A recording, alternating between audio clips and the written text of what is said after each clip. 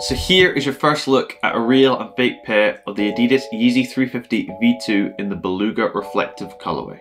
Can you tell any differences between these two?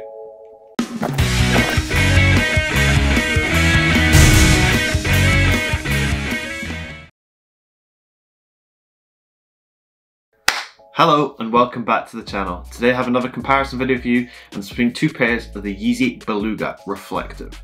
So on my right here we have the retail pair that I purchased directly from the Adidas Confirmed app and here is the fake one on the left and this video will just be showing you the details on what to look for if you're trying to purchase the retail pair. But before we get into the video I'd like to give a big shout out to today's sponsor.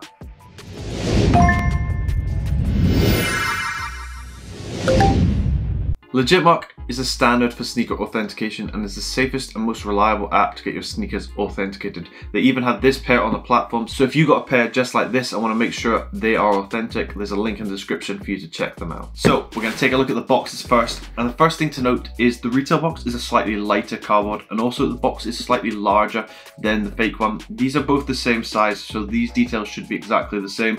So just to take a note, fake box is slightly smaller than the retail one. In terms of the 350 on the top, they're pretty much the exact same size. There's no real difference between the two. And at first glance, you wouldn't really be able to tell the difference.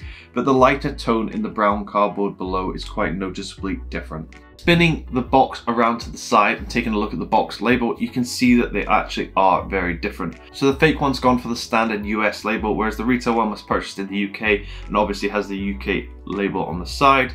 However, if you look at the color code, you can see on the retail one, it pr practically shortens down Beluga Reflective and Steel Grey and Solar Red.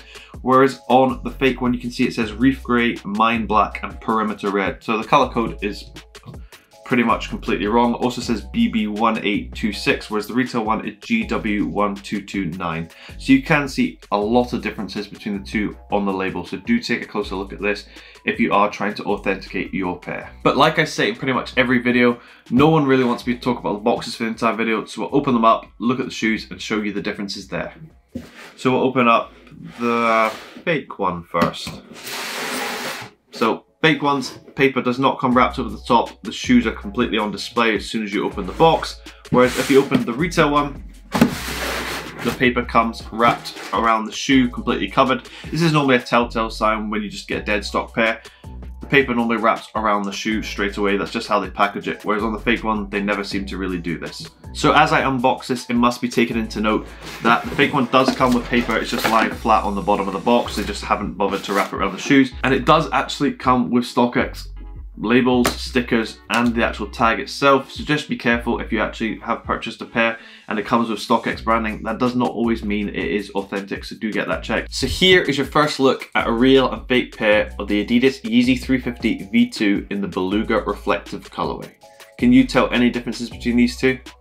So this was actually the first ever Yeezy 350 V2 to release, but it didn't release in a reflective colorway, so they've actually brought it back, which I actually really do like, and they've added a little twist to it, which actually just gives it a really nice touch. I did actually get two pairs of these when they first released. It was my first ever Yeezy 350 V2. Managed to get two pairs off the size app, and just managed to get them first come first serve was really happy with that purchase and I wore them into the ground and then decided to sell them and I'm really glad they have re-released this pair because ugh, this colorway is really, really nice. I'm a big, big fan of it. So the first difference between the two pairs is actually quite obvious. And if you take a look at the sole, and I'll give you a close-up of this as well, you can see the sole color is completely different between the two pairs. On the retail one, it's a gray sole, which pretty much matches the upper and isn't very see-through, and you can't really see the boost through it as clearly as you can on the fake. On the fake one, you can see the color of the sole, much lighter gray, pretty much a tanned colorway as well, and the boost is coming through very clearly and it's a quite obvious difference between the retail and the fake one. I'm not too sure why they've got the sole color so wrong as these have been out for quite a while in the non-reflective version and the sole is pretty much exactly the same. Spinning the shoe upside down, taking a closer look at the boost, we can see differences here as well.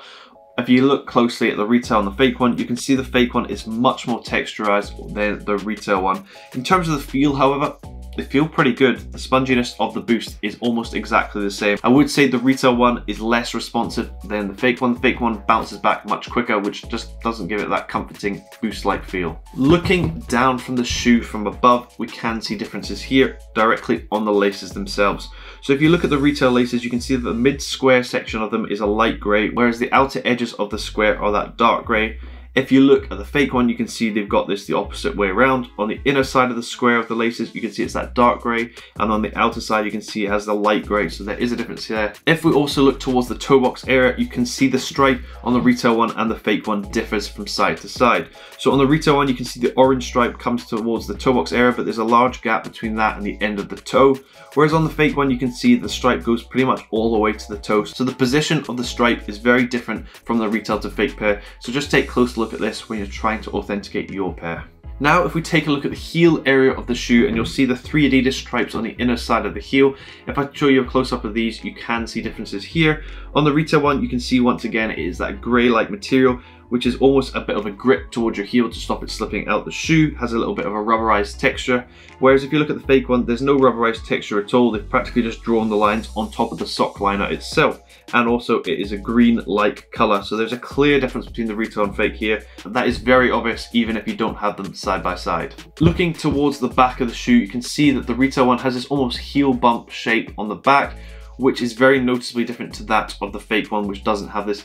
This is a very obvious shape on the back of a Yeezy 350 V2, and if you see this, very likely that your pair is a retail pair because fakes don't really seem to get this shape correct. If I show you directly from above again, you see this middle stitching going all the way down the shoe. If I give you a close up of this, you can actually see that this middle stitching is actually a different color from retail to fake. It's a much lighter gray on the fake one compared to the retail one, but this is just another telltale sign between the two pairs and what to look for if you are trying to purchase the retail one. God, this is such a nice shoe. I actually really like this and I'm so glad I've got it back. Now, if we take out the paper from inside, we will see the retail one has a much larger paper stuffing than the fake one. The fake one looks like it's just used some normal paper scrumpled up, whereas this one has a more cardboard-like texture to it, and it's also much bigger. Now, if we take out the insole from both, and I'll show you them side by side, we can see color differences between the two. On the retail one, you can see it is a much lighter gray than that of the fake one. And also, if you look at the three stripes on the Adidas logo, you can see that it's a much lighter gray that matches the insole compared to the fake one, which has three stripes, which are a much darker gray. So do look out for these tiny details if you are authenticating, because if you have a fake pair that's very close, these are the things you're going to have to look for. The next thing I'm to show you is if you take a look at the side of the shoe and take a look at the Supply 350 text on the stripe. And if you look at the size and consistency, you can see differences here between the retail and fake, where the font text size is very different between the retail and the fake. If I take a look at the right shoe now, you'll see that they do actually come with labels attached to the right laces, and the fake one comes with this one label attached here. This is because this is based on the US label, whereas this is based on the UK label. However, there is a difference to note, is that Yeezys nowadays come with this rope lacing, because I think they're trying to cut down their plastic consumption, so the sustainability. So they do come with this rope straw-like attachment, whereas this fake pair has gone with the old plastic attachment. So just look out for these little details because for a retail pair, they should come with the straw attachment now, just because Adidas is cutting down on its plastic consumption. So as you can see from this video, there are actually quite a few differences between these two pairs. However, if you purchased a pair and are struggling to tell if yours are real or fake, you can check out Legit Legitmark. There's a link in the description for you to check them out and get your pair authenticated. I hope this video has helped you if you are struggling to tell the difference between a retail and fake.